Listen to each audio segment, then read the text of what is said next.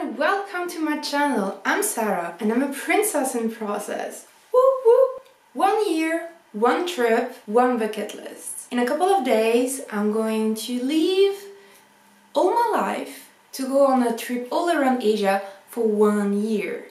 So here I am with the eighth place I really, really, really, really, really want to go. Number eight, the Marina Bay Sand and its infinity pool in Singapore. So of course, there is a ton of things to do in Singapore like Little India, Chinatown, the Botanic Gardens and so on and so on. But let's face it, can you imagine just floating on top of Singapore skyline? It's like you're just swimming on the sky and I really want to experience that. Plus, hey, you should treat yourself. Number 7. Kowloon and the Grand Canyon of Hong Kong. Obviously, I will never be able to see the original Kowloon, you know, the famous walled city, very narrow, because it has been destroyed in 93, but the Kowloon area still have some leftover of those days. You still find the same atmosphere. On the other side of the spectrum, there is the Grand Canyon. I'm doing that because it's kind of small, but it's still really beautiful and it's another side of Hong Kong. Usually when people think of Hong Kong they think of the skyline, all the business, the people all around the bay but there is more than that. Number 6. Vietnam and the Along Bay. It's a World Heritage UNESCO site. It is breathtakingly beautiful, the seascape, the limestone mountains, the floating village and most of all the floating vendors. It really really is the typical image you have of Vietnam and I really want to see it. Number five, let's stay in Southeast Asia and move to Cambodia and more specifically Angkor Wat.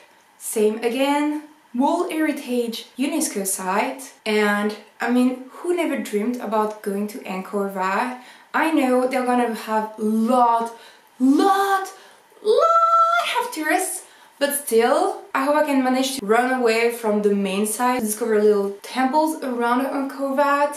Cross fingers? Number 4. Taiwan, and more specifically, I really want to go to the Pingxi Lantern Festival. It looks beautiful, magic. It's around Chinese New Year, and I hope I can make it. But more than that, there is Taiwanese food. Can we talk about the night markets, the street food and everything? Everything look delicious. I just can't wait to try them all. Number three on my list, China. You can't go to Asia without visiting China. You have Beijing, the Great Wall of China, the Forbidden City, the Tiananmen Square, Shanghai, Hangzhou, Suzhou, and so many places to see. But where I personally really really want to go, to Guilin, the Zhangjiajie Park and the Fenghuan Village. Please excuse my Chinese pronunciation. So Guilin, it's beautiful from the picture eye. So actually, you have the Li River with the mountain, the reflection. It's rural China. You have the rice paddies, the rice terrace. It's just one of the most beautiful watery wonder and I just love wandering. I love places near water. Definitely on my list.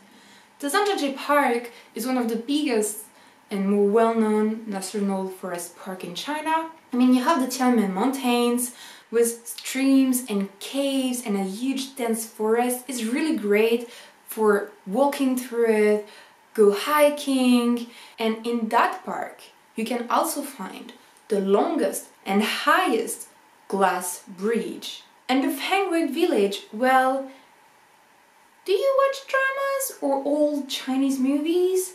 Can you see those little town with wooden house near a river?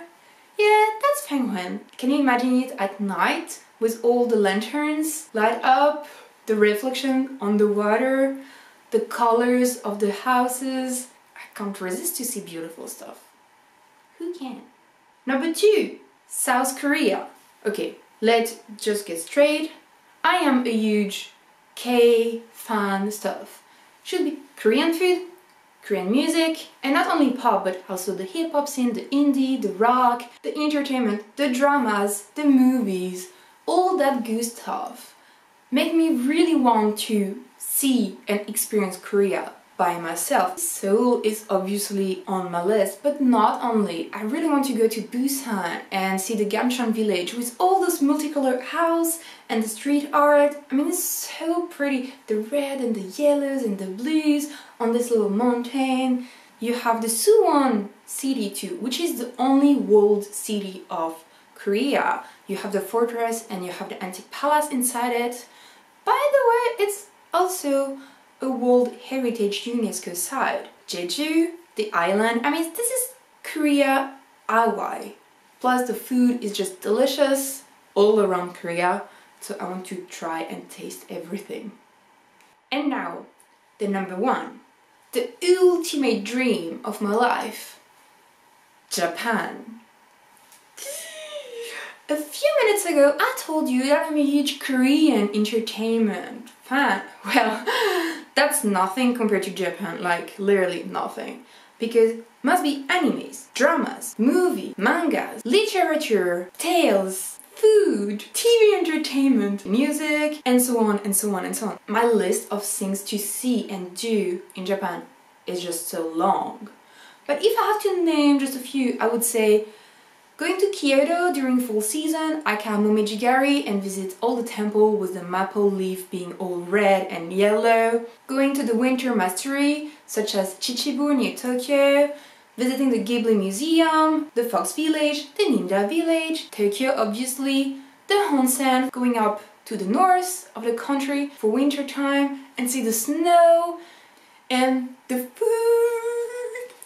Want to eat dangos, ramen, Kobe beef, tonkatsu, katsudon, everything with rice, and matcha and Pockys. I freaking love Pockys. Pockys are like my ultimate snack and matcha, everything which has a matcha flavor, imigit. I love it.